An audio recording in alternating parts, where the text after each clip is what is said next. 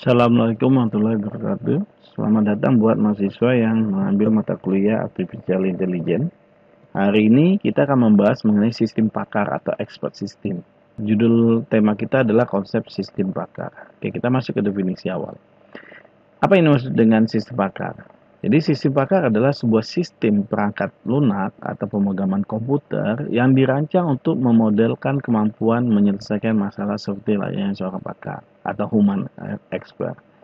Jadi di sini sudah sangat dijelaskan sekali bahwa sistem pakar yang merupakan cabang dari uh, atau ranting ya ranting cabang dari artificial intelligence adalah uh, bagaimana uh, membuat suatu aplikasi yang mampu uh, memberikan keputusan seperti uh, manusia yang memiliki keahlian ya. Jadi seperti itu. Jadi ini adalah uh, pemrograman ya uh, perangkat lunak ya.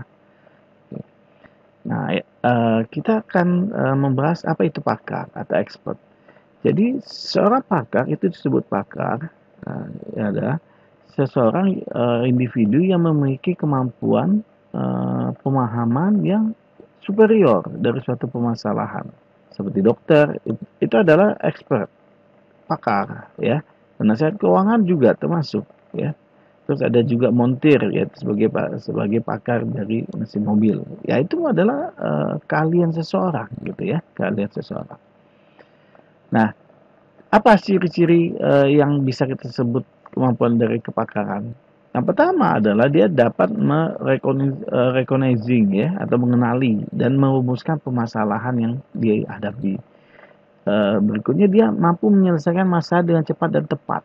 Uh, berikutnya dia mampu menjelaskan atau memberikan solusi dari permasalahan yang di, didapat ya. Berikutnya ber, seorang pakar itu belajar dari pengalaman. Ya, Anda seperti tahu ya Eh, kalau Anda lulusan dari misalnya kedokteran tapi tidak melakukan praktek sama sekali atau tidak melakukan eksperimen ya percuma. Karena dari eksperimen dari praktek itu adalah pengalaman yang bisa menjadi uh, pembelajaran. Nah seperti itu uh, yang dinamakan orang yang memilih uh, yang pakar gitu. Jadi ada pengalamannya.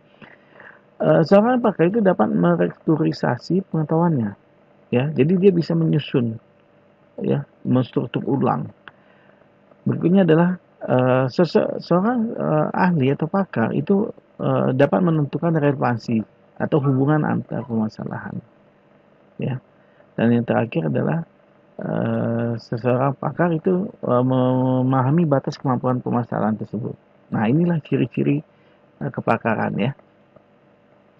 Kenapa uh, kepara, uh, sistem pakar ini dikembangkan di artificial intelligence?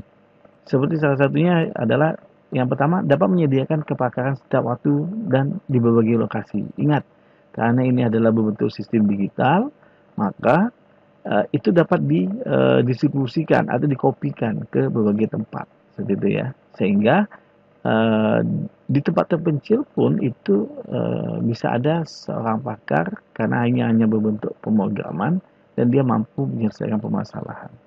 Yang kedua adalah secara otomatis uh, mengerjakan tugas-tugas rutin yang membutuhkan seorang pakar. Iya, jadi seperti itu. Jadi alasannya adalah semakin uh, apa mampu me merumuskan permasalahan atau uh, memberikan uh, apa jawaban dari uh, permasalahannya ada, ya berarti otomatis uh, ini menjadi uh, apa keuntungan gitu ya, keuntungan. Jadi saya otomatis mengerjakan tugas-tugas yang biasanya ada pakar. Misalnya di, di tempat tersebut ada uh, pakar dokter misalnya ya, tapi sudah meninggal. Tapi dengan menggunakan algoritma atau software uh, dan mengambil dari pakar dokter tersebut, nah itu akan uh, tersedia. Jadi artinya tidak akan hilang. Yang ketiga adalah alasan seorang pakar uh, karena manusia yang memiliki kepakaran itu suatu saat akan pensiun atau pergi, bisa meninggal, bisa istilahnya kepakarannya bisa menurun gitu ya, ya karena usia ya. Nah, yang keempat eh, alasannya adalah untuk menghadirkan eh, atau menggunakan jasa seorang pakar itu biasanya memerlukan biaya mahal. karena sistem pakarnya sudah didokumentasikan. Jadi orang jika memiliki penyakit yang sama atau hampir mirip, nah, aplikasi ini atau pakar kelas ini mampu. Jadi tidak perlu mendatangi uh, apa pak, uh, orang yang ahlinya, uh, jadi pakar yang sesungguhnya.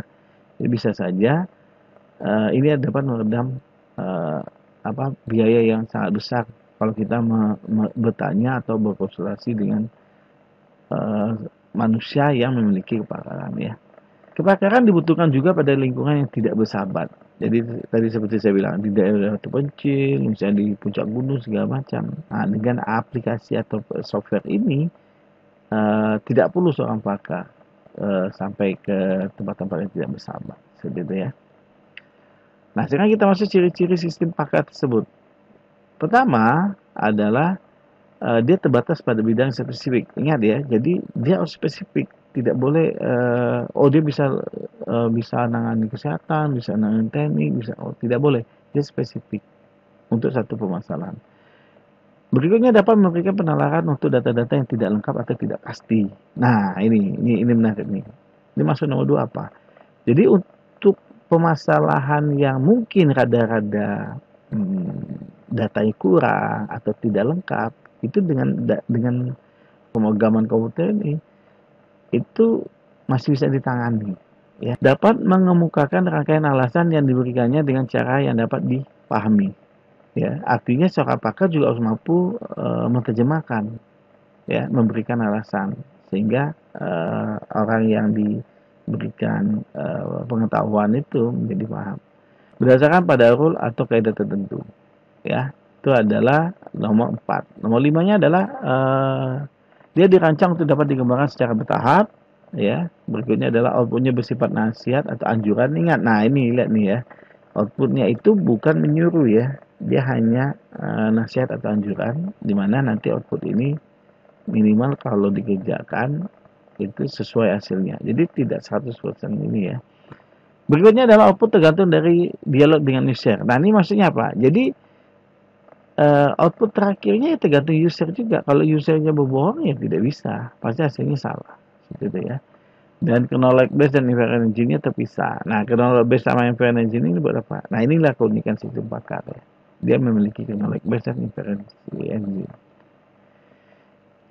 Sekarang kita akan masuk ke keuntungan penggunaan sistem pakar. Jadi dengan adanya sistem pakar ini apa saja yang keuntungan kita dapat? Yang pertama adalah membuat seorang yang awam dapat bekerja seperti layaknya seorang pakar, sudah pasti ya. Berikutnya dapat bekerja dengan informasi yang tidak lengkap atau tidak pasti. Nah ini syaratnya adalah uh, database-nya harus lengkap ya walaupun uh, informasi yang didapat kurang jelas, tapi dengan lengkapnya data ini itu menjadi lebih uh, tepat atau anjuran atau nasihat yang diberikan pasti lebih tepat. Berikutnya adalah meningkatkan output dari produktivitas. Expert system dapat bekerja lebih cepat dari manusia. Anda bisa bayangkan itu. Expert system dapat bekerja dari manusia. Keuntungan ini berarti mengurangi jumlah pekerjaan yang dibutuhkan dan akhirnya akan mereduksi biaya. Ya, seperti itu ya. Dan berikutnya adalah dapat meningkatkan kualitas Expert system menyediakan nasihat yang konsisten dan dapat mengurangi tiga kesalahan. Uh, yang ketiga adalah membuat peralatan yang kompleks lebih mudah dioperasikan karena expert system dapat melatih pekerjaan tidak berpengalaman. Dan yang terakhir adalah handal atau reliability. Keuntungan berikutnya adalah uh, expert system tidak bisa lelah atau bosan. Jadi dia tetap konsisten dalam memberikan jawaban dan selalu memberikan perhatian penuh. Kemampuan untuk mencari masalah yang uh, mampu untuk mencari masalah yang kompleks ya. Pemindahan pengetahuan ke lokasi yang jauh serta memperluas jaringan seorang pakar dapat diperoleh dan dipakai di mana saja karena dia berbentuk pemrograman ya dan merupakan nasib yang terpercaya dari sebuah keahlian sehingga user seolah berkonsultasi langsung dengan sang pakarnya sendiri meskipun mungkin sang pakar sudah pensiun atau sudah tiada seperti ya. Nah, selain keuntungan ada juga kekurangan. Jadi di sini disebutkan Sistem pakar hanya dapat e, menangani pengetahuan yang konsisten saja, ya. Artinya uh, tidak bisa dia memutuskan jika data yang dia dapatkan tidak terlalu banyak. Jadi harus ada faktor pendukung dari data ya. Yang kedua adalah sistem pakar tidak dapat menangani hal yang bersifat judgment atau uh, penghakiman ya atau uh, pendudukan ya. Jadi sistem pakar memberikan hasil yang pasti sehingga putusan akhir pengambilan keputusan jika melibatkan kebijaksanaan dan itu tetap uh, di tangan manajemen ya. Format knowledge base sistem pakar terbatas. Jadi knowledge base pada sistem pakar berisi aturan-aturan atau rules yang ditulis dalam bentuk statement if then ya. Nah ini perbandingan ya, perbandingan antara seorang ahli dengan uh, expert system ya, tim dengan human expert. Oke ini sudah. Nah ini adalah tabel berikutnya sistem konvensional dengan sistem pakar. Nah, ini adalah struktur dasar uh, human itu ya, kepakaran manusia seperti ini konsepnya. Ya, human expert itu ya. Sedangkan untuk uh, sistem pakar uh, expert system bentuknya seperti ini. Ya. Nah, tadi disebutkan di bagiannya ada namanya chronolog base di dalam sistem pakar. Apa itu di base? Jadi chronolog base adalah bagian dari sistem pakar yang berisi domain pengetahuan berisi pengetahuan yang dibutuhkan untuk memahami, memutuskan misalnya masalah. Dia terdiri dari dua elemen. Yang pertama fakta, situasi dan teori terkait, dan aturan atau heuristik. Heuristiknya khusus atau rule yang langsung menggunakan pengetahuan untuk menyelesaikan masalah khusus. Nah, berikutnya ada working memory. Apa ya working memory? Working memory adalah bagian dari sistem pakai yang berisi fakta-fakta masalah yang ditemukan dalam suatu sesi atau kejadian. Berisi fakta-fakta tentang suatu masalah yang ditemukan dalam proses konsultasi.